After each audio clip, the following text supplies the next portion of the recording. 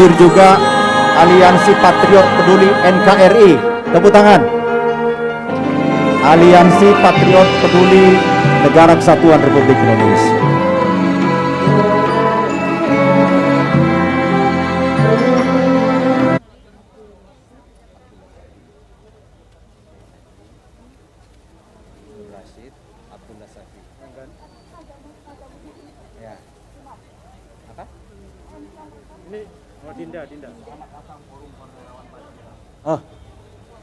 Selamat datang juga kepada Forum Purnawirawan Baret Merah. Baret Merah luar biasa. Mulai dari RPKAD, Kopasanda dan sekarang menjadi Kopassus. Alumni Purnawirawan Baret Merah. Juga berhadir komunitas masyarakat Tionghoa. Kita berikan tepuk tangan. Ya. Aklamasi. Nama nama aslinya Siti Hediati. Siti tulis. Ya. Ibu ya. Abdullah Safi.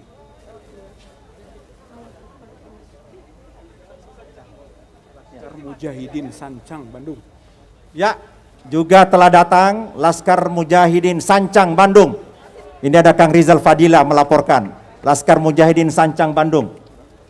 Juga ada Ustazah Peduli Negeri. Kita beri tepuk tangan, Ustazah Peduli Negeri. Sekali lagi protokol kesehatan jangan lupa. Asik ngambil foto, masker terbuka, jangan bersentuhan, maaf, jangan bersentuhan. Juga ada forum alumni perguruan tinggi Indonesia, forum API. Berhadir di sini. Kita berikan tepuk tangan. Seluruh komunitas, baik yang telah disebutkan maupun yang belum disebutkan, semoga menjadi amal jariah atas kehadirannya pada hari ini dalam rangkaian menyelamatkan Indonesia.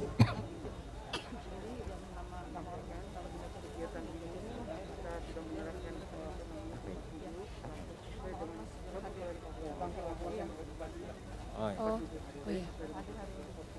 Ormasnya aja, enggak, usah, enggak usah. Tadi sudah. Ini nama ormasnya ini.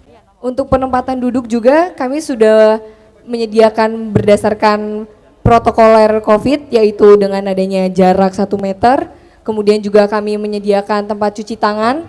Jadi dimohon diharapkan kepada seluruh hadirin untuk tetap menjaga jarak, tetap menggunakan masker dan menjaga kebersihan di area sekitar. dunia. Muslim dunia. Juga telah berhadir pencinta muslim dunia dari Banyumas, dari tempat kelahirannya Jenderal Sudirman, Banyumas. Telah hadir juga dari Ibu Aini Karta Atmaja, Ketua DPD Pena 45 Jabar. Juga telah berhadir Forum Kedaulatan Negara Kesatuan Republik Indonesia di bawah koordinatornya Bapak Adang Suharjo, Sarjana Ekonomi. Ada Forum Kedaulatan NKRI. Di sini ada banyak yang berpartisipasi. Ada Bang Japar, ada Espas, ada satu, Happy, dua, tiga, empat. ada Prodem, Aliansi Kanken, Pejabat, Wajan, Forum Banten Bersatu, GMG, Aliansi Lintas Banten, Pendekar Banten, Ormas Maslahat Banten, Prasandi, Emak-emak Mujahidah, Pas Pampres, Pas Pam Pas Pampasres. Maaf, maaf. Pampasres. Semut Banten, Ikawa Prasa Japri Laskar Bugis Makassar, Bidadari Surga. Komubin garis lurus, bukan Numit Karna Gabalin.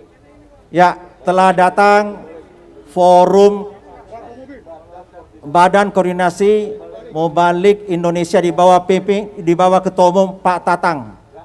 Kiai Haji Tatang. Oh, sekjennya siapa? Sip. Sudah hadir. Selamat datang dan telah berhadir Bapak Jenderal TNI Purnawira. Gatot Nurmantio. Kita berikan tepuk tangan. Ikawa Prasa Japri Laskar Bugis Makassar, Bidadari Surga, FPM DKI Forum Hikmah Madinah, Majelis Ta'lim Bogor, ISMI, GP Prasa, PPMI, Ashabul Maimana, KMP Lebak, Patriotisme GN, Uhuwa Islamiyah, API Kahmi, Gempita, Rembulan Komunitas, Gerbang Amar. Ya, kita tinggal lima menit. Sudah, sudah. tadi sudah saya. Juga Profesor Dr. Din Samsudin sudah berada di tengah kita.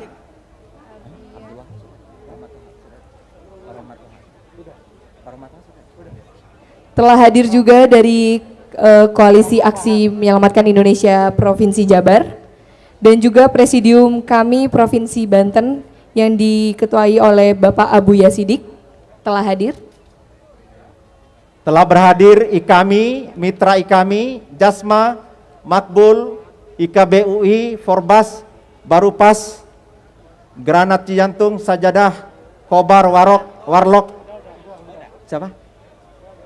Warlock, Kopenasi MG, Aspirasi, Protapnas, 3C, Farci, GMJ, Warung NKRI, GIN, Arpas, KRBP, KRPB, Pahal, Liga Muslim Indonesia, Forsap, Kedaulatan Rakyat, Peci, Inspirasi, Gempur, Persaudaraan antar antar wilayah dan Persaudaraan Maluku. Kita berikan tepuk tangan kepada semua komunitas yang turut mendukung dan mensukseskan deklarasi ini. Mohon maaf, acara akan dimulai. Tolong di depan dan tolong Perlu kami ingatkan kembali untuk seluruh hadirin dan peserta yang hadir untuk tetap menerapkan protokol kesehatan, tetap menjaga jarak, menggunakan masker, dan menjaga kebersihan di area sekitar. Forum Komunitas Tionghoa juga berpartisipasi. Selamat datang. Telah hadir juga dari Laskar Mujahid, Perindu Syahid, Bandung, ketua, yang diketuai umum oleh Bapak Haji Arif Abdullah. Ya. Kemudian ada dari komunitas Bapak Wadah Muhammad Elemen Siddiq, Masyarakat. Ketua Umum Dewan Dakwah Rumah Kita Indonesia Solo juga Raya. telah berhadir. Ayo, tak usah, maaf, maaf, mas, mas, mas, di wartawan coba di pinggir. Dimohon untuk seluruh hadirin membersih untuk membersihkan area Ya, lapangan depan di tengah. karena acara sebentar lagi akan segera dimulai. Ya, juga berhadir Presidium Nasional Majelis Permusyawaratan Pribumi Indonesia di bawah pimpinannya Bapak Dr. Gunawan Aji. Selamat datang. Juga GERA Indonesia, Gerakan Elaborasi Rektor Akademisi Alumni, aktivis kampus Indonesia.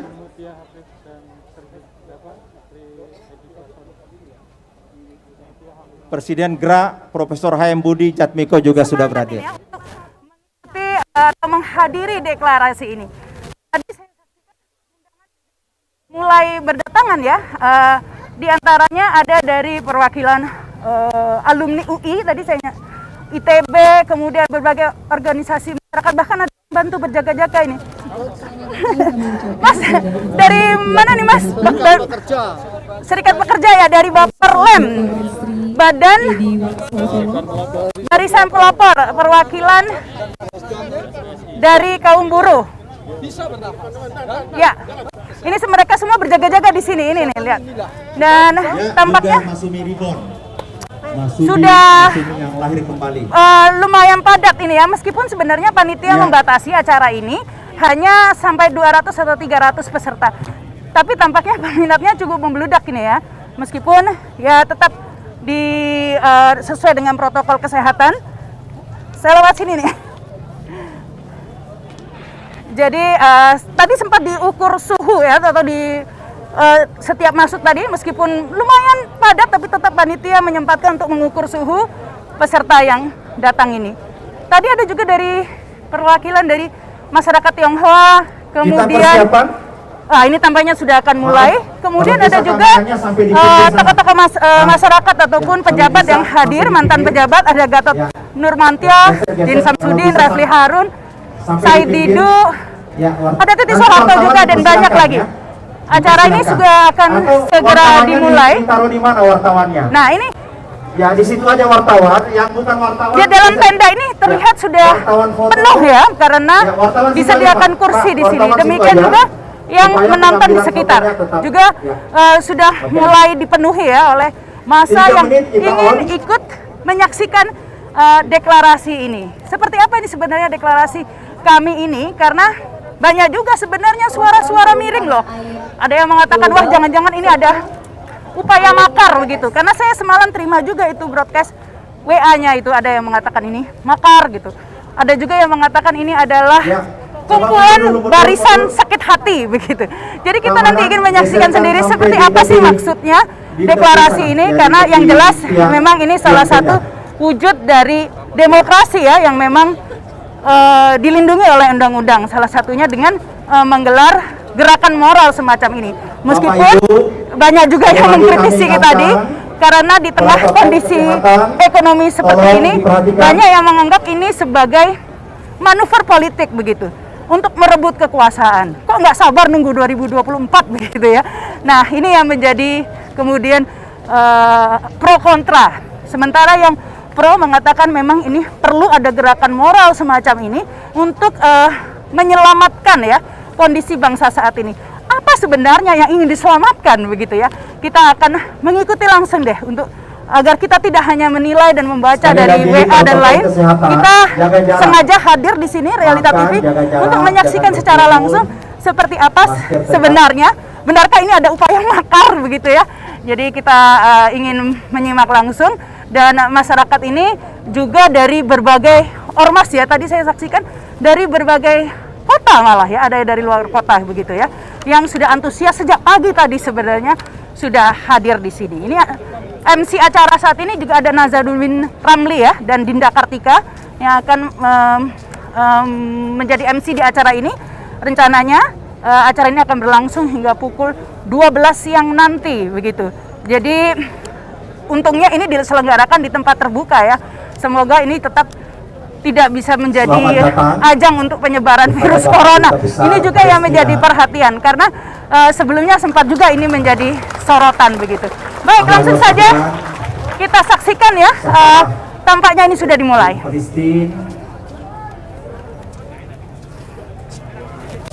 Assalamualaikum warahmatullahi wabarakatuh.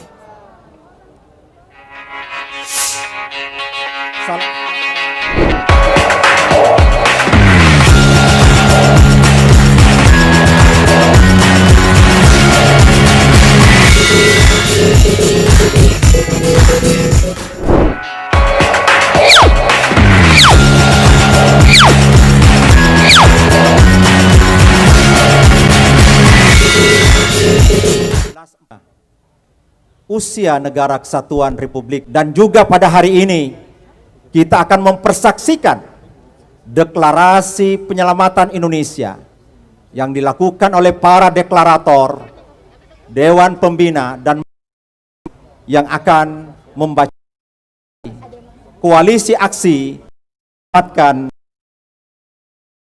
untuk lebih ini dengan bersama basmalah. Bismillahirrahmanirrahim. Pembacaan doa yang dipimpin Haji Agus Solah selaku Komite Kita NU tahun 1926.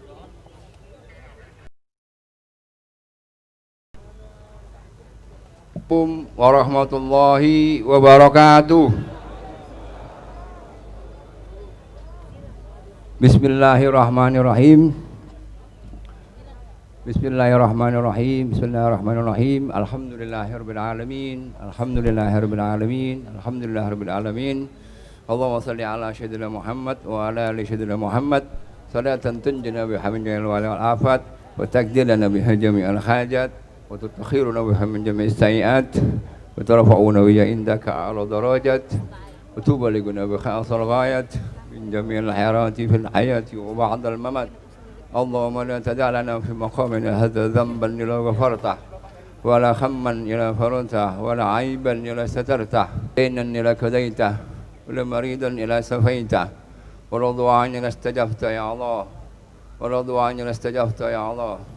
ولا حاجات من خويج الدنيا والآخرة يا لك رضا يا الله يا لك رضا يا الله يا لك رضا يا الله ولا فيها صلاح. إلا قضيتها ويسرتها يا رب العالمين.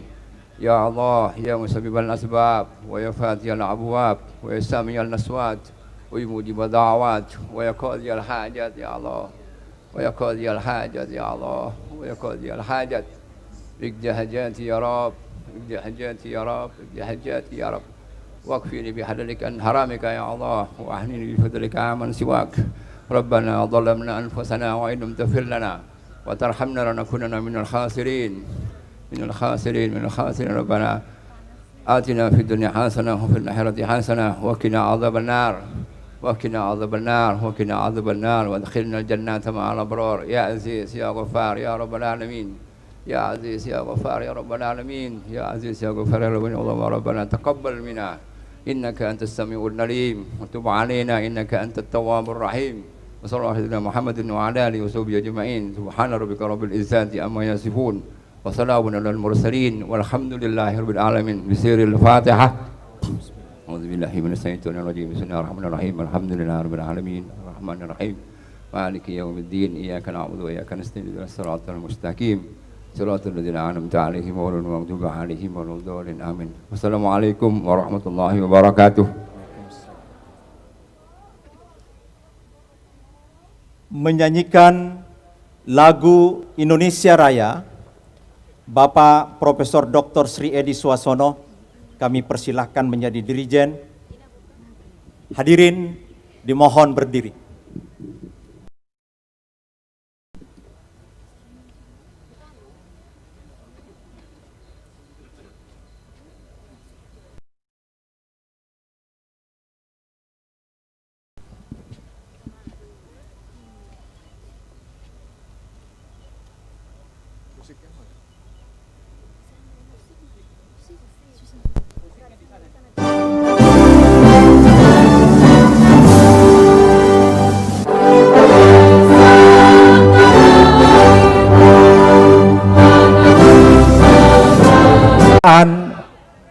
pembukaan Negara Republik Indonesia 1945.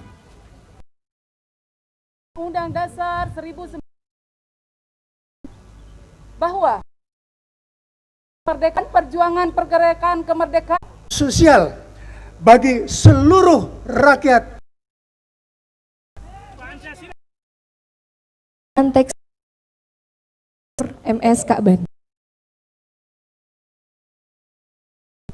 Pancasila, Yang adil dan beradab. hikmah kebijaksanaan, Kerakyatan yang dipimpin oleh dan perwakilan. Lima, keadilan sosial bagi seluruh rakyat Indonesia. Keadilan sosial bagi seluruh rakyat Indonesia. para pembaca dipersilahkan untuk kembali ke tempat. Kami persilahkan paduan suara untuk menyanyikan dua lagu, Gebiar-Gebiar dan Padamu Negeri. Hadirin dipersilahkan duduk kembali.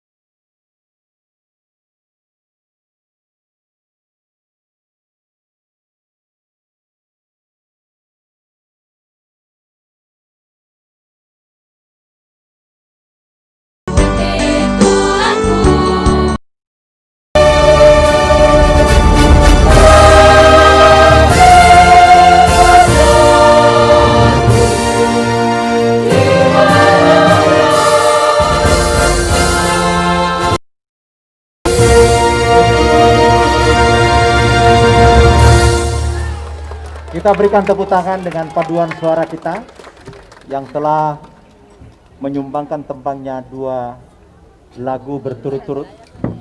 Hadirin yang saya hormati, ada informasi dari panitia bagaimana kita ingin menyaksikan acara ini melalui Realita TV. Ternyata kendalanya adalah internet. Hadirin, tolong dimatikan dulu internetnya supaya bisa Realita TV bisa diakses di seluruh Indonesia. Hadirin yang saya hormati, setelah kita memperingati hari ulang tahun kemerdekaan Republik Indonesia yang ke-75 dan juga hari Pancasila. Hari Pancasila itu tepatnya 18 Agustus 1945 dan sekarang sudah 75 tahun hari Pancasila itu 18 Agustus 2020 dan juga Hari Konstitusi Negara Kesatuan Republik Indonesia. Kami perlu sampaikan bagi yang belum tahu bahwasanya pembukaan Undang-Undang Dasar 45 itu itulah konsep utuh dari Piagam Jakarta yang menjadi konsensus pertama yang dikomandoi oleh Bung Karno dan wakilnya Bung Hatta, anggotanya Haji Agus Salim, Mr. Ahmad Subarjo, Abi Kusno Cokro Suyoso, Profesor Abdul Kahar Muzakkar, Abdul Kahar Muzakir, Wahid Hasim, Mr. Muhammad Yamin, dan Alexander Andris Maramis. Oleh karena itulah penguatan dekrit 5 Juli 59 bahwa Piagam Jakarta satu kesatuan yang tidak terpisahkan dari konstitusi Undang-Undang Dasar 1945. Oleh karena itu konsensus nasional kedua 18 Agustus setelah Piagam Jakarta tereduksi tujuh kalimatnya menjadi ketuhanan yang Maha Esa. Itulah kesepakatan abadi kita hingga detik ini. 75 tahun Pancasila, 75 tahun Negara Kesatuan Republik Indonesia, 75 tahun Undang-Undang Dasar Negara Kesatuan Republik Indonesia. Tibalah saatnya kita menanti-nanti acara yang kita tunggu-tunggu adalah deklarasi menyelamatkan Indonesia sebagai pertanda pendirian koalisi aksi menyelamatkan Indonesia. Didahului oleh pembacaan jati diri kami dan dilanjutkan dengan pembacaan maklumat menyelamatkan Indonesia. Sebelumnya kami mendapatkan informasi Bapak Reformasi Indonesia, Bapak Profesor Dr. Haji Muhammad Amin Rais telah berhadir juga di tempat ini.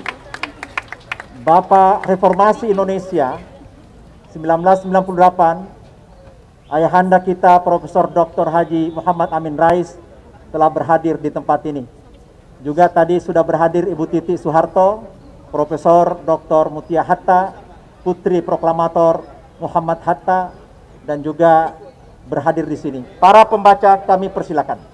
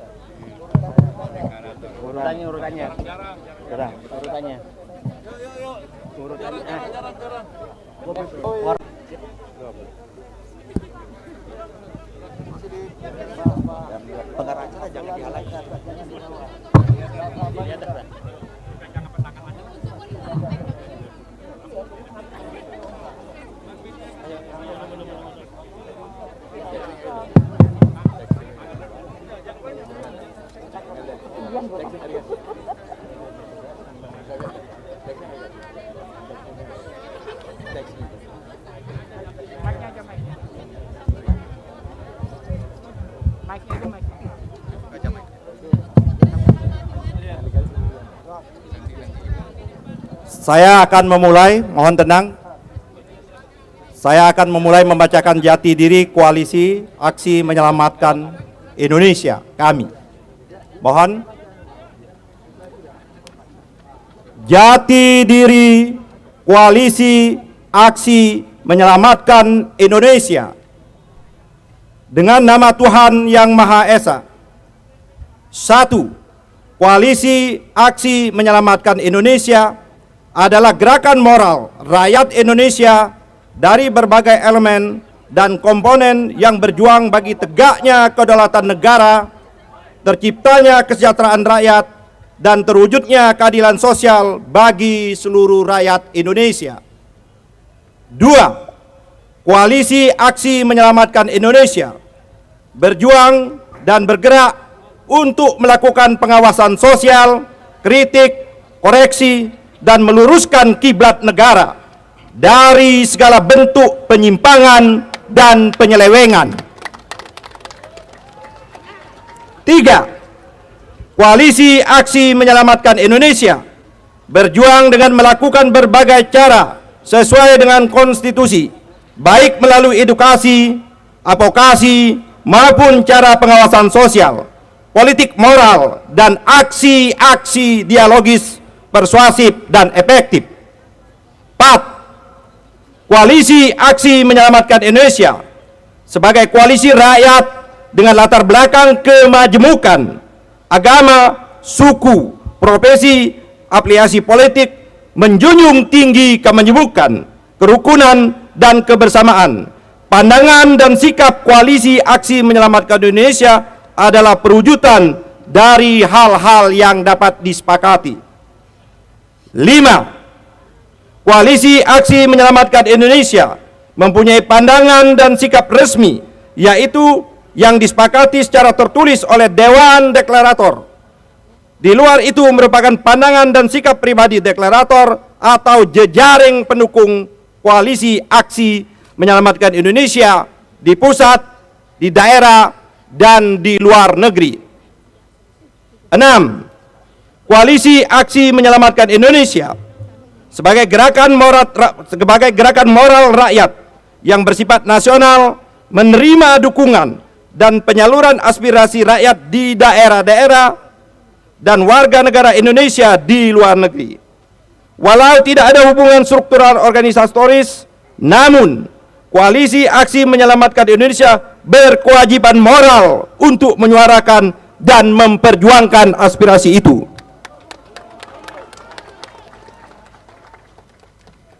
Tujuh, Koalisi Aksi Menyelamatkan Indonesia, baik secara bersama-sama atau sendiri-sendiri, dan jejaringnya berjuang untuk tujuan perubahan dalam kehidupan berbangsa dan bernegara, sehingga segala bentuk penyimpangan dan penyelewengan dapat dihentikan.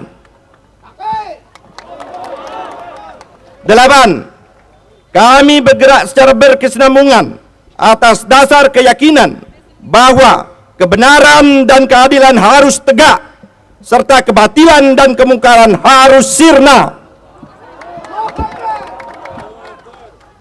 Sembilan, Koalisi Aksi Menyelamatkan Indonesia membagi struktur organisasi kepada A. Dewan Deklarator sebagai penentu kebijakan prinsipil dan strategis yang dipimpin oleh presidium yang bekerja secara kolektif kolegial memimpin gerakan sesuai jati dirinya. B. Komisi eksekutif terdiri dari 9 orang yang diangkat oleh presidium berfungsi sebagai motor penggerak koalisi, melaksanakan rencana-rencana strategis yang diputuskan Dewan Deklarator dan membentuk serta mengkoordinasi, mengkoordinasi divisi-divisi. C.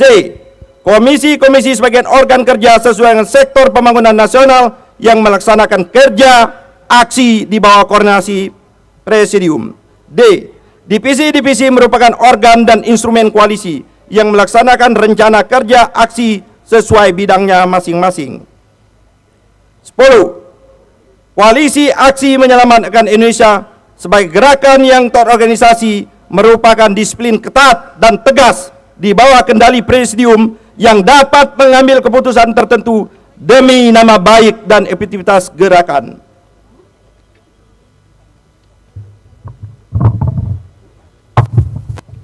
Dilanjutkan. Menyelamatkan Indonesia dengan nama Tuhan Yang Maha Esa bahwa sebagaimana termaktub dalam pembukaan Undang-Undang Dasar Negara Republik Indonesia tahun 1945 tujuan terbentuknya Negara Kesatuan Republik Indonesia adalah melindungi segenap bangsa Indonesia dan seluruh tumpah darah Indonesia memajukan kesejahteraan umum mencerdaskan kehidupan bangsa dan ikut melaksanakan ketertiban dunia yang berdasarkan kemerdekaan, perdamaian abadi, dan keadilan sosial.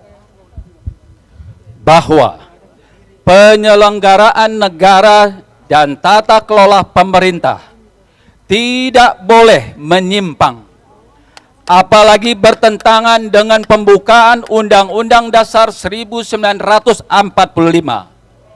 sebagai dasar arah dan tujuan untuk mewujudkan cita-cita proklamasi kemerdekaan 17 Agustus 1945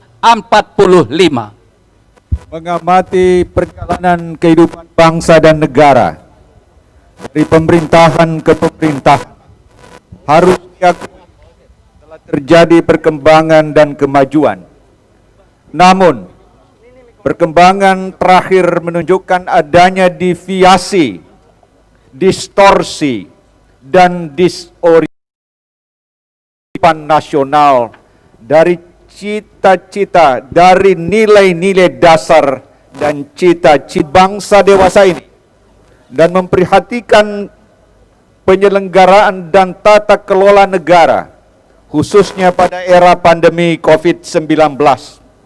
Kami yang terdiri dari berbagai elemen dan komponen bangsa yang bergabung dalam koalisi aksi menyelamatkan Indonesia. Kami amat memprihatinkan hal-hal sebagai berikut. Ekonomi. Pembangunan ekonomi nasional telah gagal membebaskan bangsa dari ketergantungan pada utang luar negeri, investasi asing, dan produk-produk impor, serta telah gagal menciptakan kesejahteraan rakyat dan mewujudkan keadilan sosial bagi seluruh rakyat Indonesia. Hal ini antara lain ditandai oleh makin besarnya utang luar negeri, membanjirnya produk-produk impor, dan terjadinya konstruksi ekonomi minus 5,32 persen yang tentu membawa dampak buruk bagi melemahnya daya beli rakyat. Menurunnya ketersediaan bahan pangan, meningkatnya angka pengangguran dan kemiskinan, diiringi oleh timpangnya struktur kepemilikan rakyat secara proporsional terhadap sumber daya ekonomi, produksi, dan distribusi. Sebelum COVID-19, jumlah penduduk miskin dan rentan miskin tidak kurang dari 100 juta jiwa rakyat yang menderita lapar kronis mencapai 22 juta jiwa. Dengan konstruksi ekonomi akibat COVID-19, jumlah dan tingkat penderitaan rakyat miskin serta mereka yang mengalami kelaparan meningkat tajam.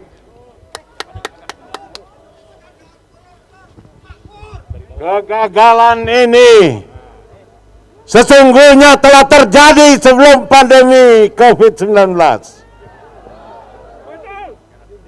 Dengan tingginya utang pemerintah, termasuk utang BUMN yang juga diperas untuk melanggengkan kekuasaan, membengkaknya defisit anggaran, defisit perdagangan dan defisit neraca berjalan, investasi korporasi domestik dan asing, sering kali menjadi alat untuk invasi ekonomi politik, intervensi, infiltrasi dan intimidasi. Kondisi ini semakin memburuk akibat adanya pandemi COVID-19 dan ketakmampuan pemerintah menanggulangi dampak ekonominya, pengelolaan keuangan, anggaran negara yang buruk juga dibuktikan oleh ambisi membangunnya proyek-proyek mercusuar infrastruktur dan ibu kota baru.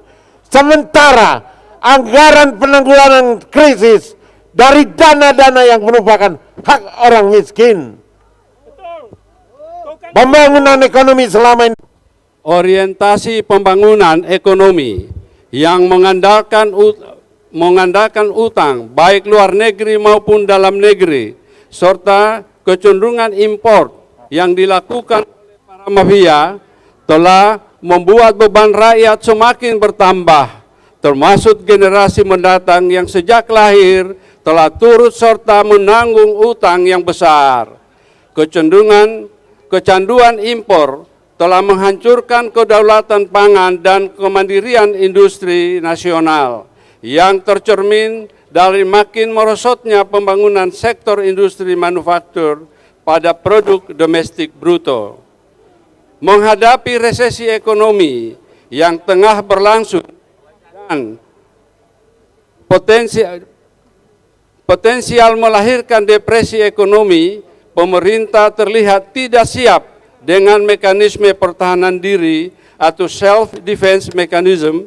Di dalam keadaan demikian soyogianya pemerintah sebagai pemangku amanat kekuasaan pemerintahan lebih mengutamakan keselamatan rakyat sesuai dengan amanat konstitusi bahwa pemerintah harus melindungi segenap bangsa dan seluruh tumpah darah Indonesia jika hal ini tidak dilakukan pemerintah depresi ekonomi akan meruntuhkan negara dan membawa kapal Indonesia karam oleh bidang politik.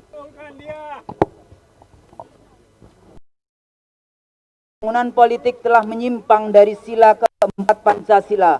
Kerakyatan yang dipimpin oleh hikmah kebijaksanaan antara lain mengkristalnya sikap saling tidak percaya, ia ditimbuni oleh praktek-praktek kekuasaan yang semakin menyimpang jauh dari nilai-nilai Pancasila, agama, etika, dan moral.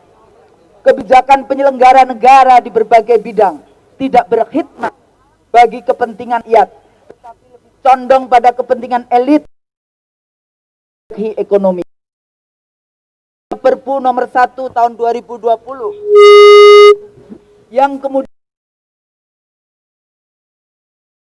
merupakan bukti nyata eliminasi fungsi DPR dan BPK dan mengamputasi lembaga yudikatif.